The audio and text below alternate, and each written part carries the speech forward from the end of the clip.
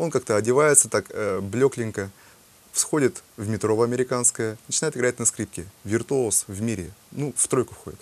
Народ проходит мимо, никто внимания не обращает. Проходит час, это все засняли на видео, представляешь? Совершенно справедливо. Вот сегодня кому-то я написал, а, у меня здесь передачи, ну, ребята, как бы поющие гитары, известные тебе, да? Они там что-то повздорили, как-то там на какое-то, ну, временно разошлись. И эта передача же прошла. У меня, я и одних уважаю, и вторых. Для меня они единое целое, да, ребята. Ну, а, а ко мне на передачу пришли одна из частей, угу. вторая была у другого кого-то. Угу. И, наверное, кто-то что-то обиделся. И такие поклонники пишут, только сейчас нашли. Я передачи все ваши размещаю. Угу.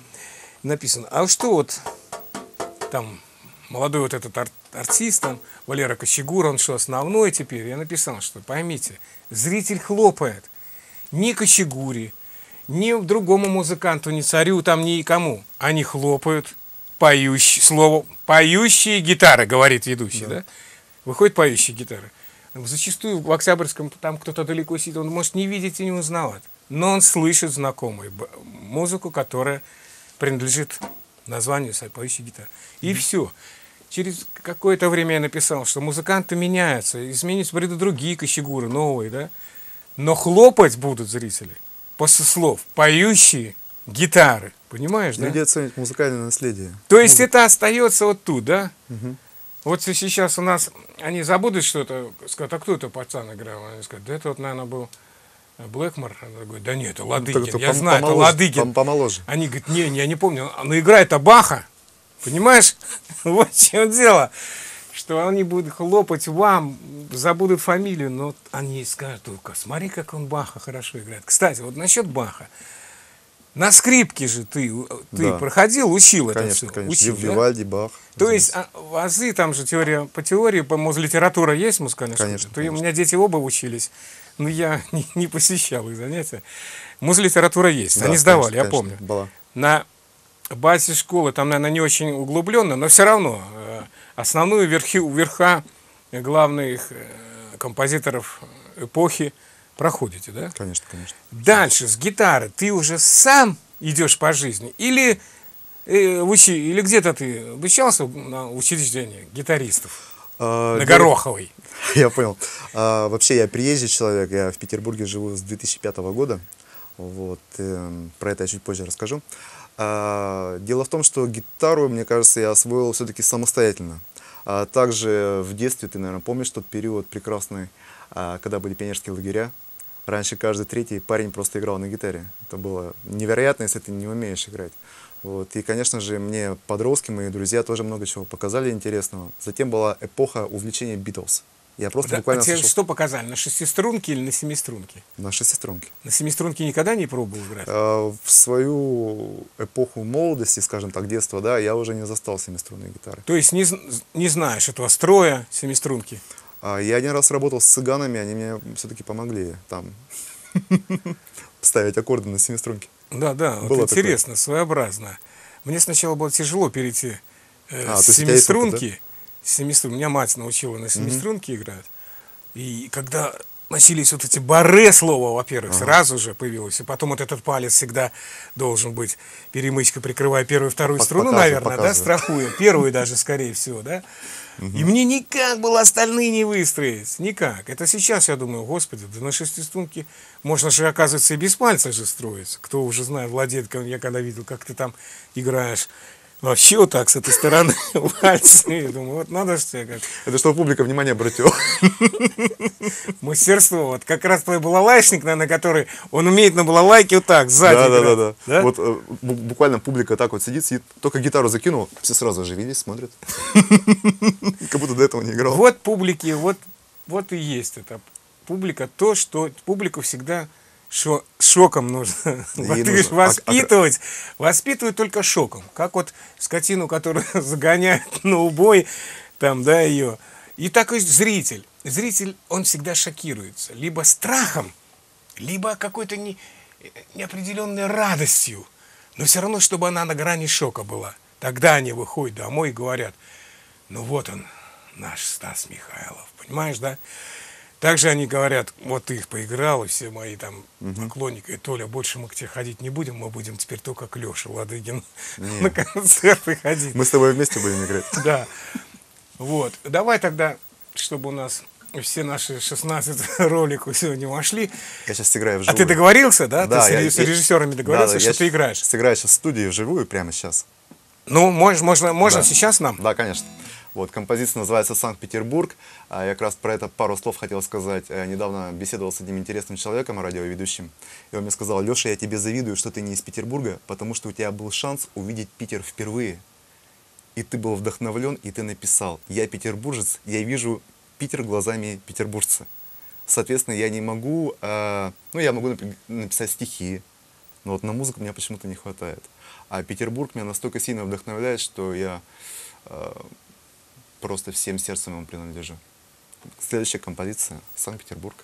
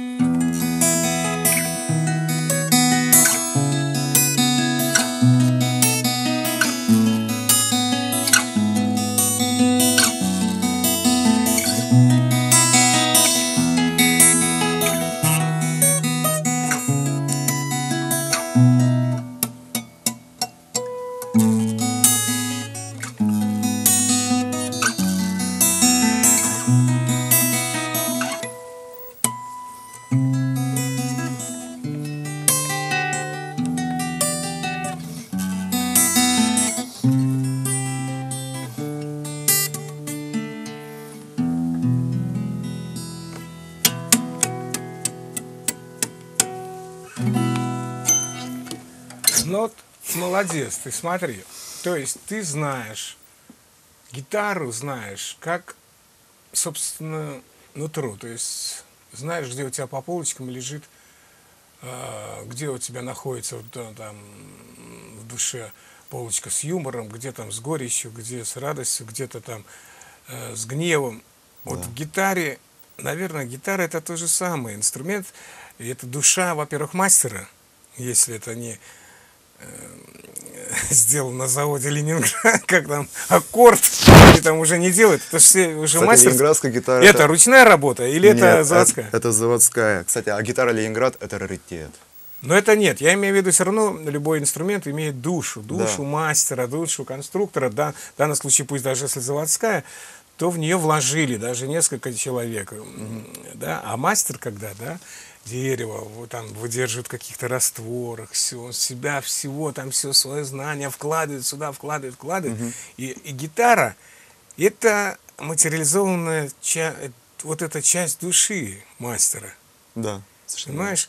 И когда ты уже берешь, он мастер уже знает игрока, которого возьмет этот инструмент, он знает, что он эту душу только дополнит своей душой. И вот тогда рождаются там всякие Страдивари и, про- и прочие, и прочие играющие. Кстати, очень, очень многое значит, когда гитарист постоянно любит свой инструмент и держит его в, в руках, потому что вот эти вот тактильные свойства, когда ты э, постоянно берешь инструмент, когда ты его целуешь, так я часто делаю, это просто сближает тебя с гитарой. Я когда э, надолго уезжал, допустим, из дома, ну, скажем, там на месяц, я приезжал домой, открывал гитару, у меня было такое чувство, что она даже немножко рассохлась. от, от э, чувства расставания, понимаешь? То есть на инструменте нужно постоянно играть, это как женщина. Вот, а вот смотри, вот про гриф. Вот некоторые говорят, вот я гриф под себя там что-то затачиваю, прошу мастера. Вот в чем фи- в длине пальцев, в чем фишка вот, вот этой истории с грифом? Мне кажется, это какие-то индивидуальные свойства каждого музыканта. Кому-то нравится толстый гриф, мне, нап- например, нравится тоненький гриф, потому что я к скрипке привыкший. Может, э, ну, кстати, нас- насчет длины пальцев, Биби Кинг. Его пальцы не отличаются большой длиной, но при этом он выдающийся Кол- гитарист. Колбасками у меня такие сосисочки. Да, и гитара у него так на животе висит. Да. Так что я считаю, что просто нужно трудиться и трудиться. Ну, талант, конечно, необходим. Да? Да, смотрим талантливого музыканта из России, из города Санкт-Петербурга Алексея Ладыгина.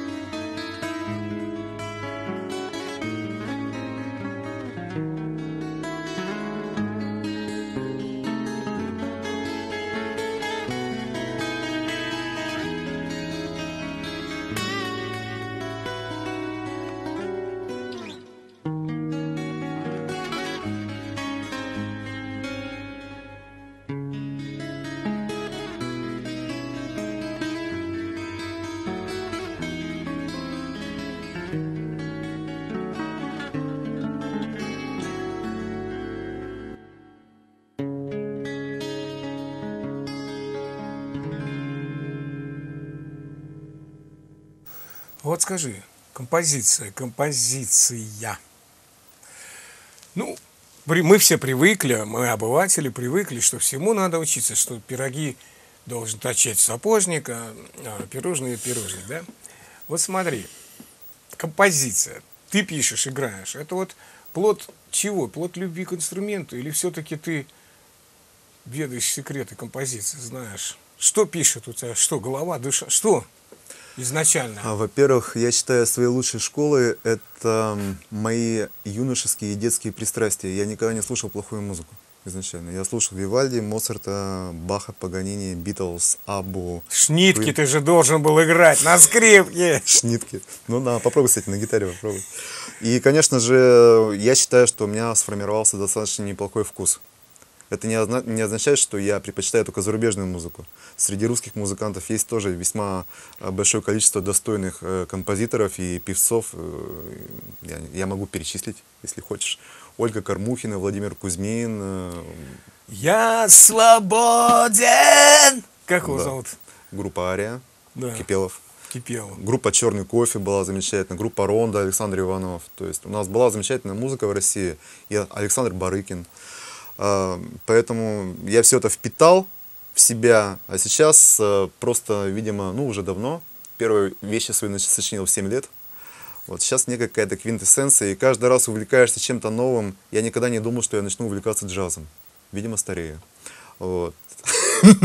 Но ЗАС, ЗАС, я не думаю, что она стареет. Но, а вот она меня привлекла к французскому джазу. Я с удовольствием сейчас слушаю, вот езжу. Я вообще поклонник радио Эрмитаж. И вообще, когда был без рекламы это радио, вообще ничего не отвлекало.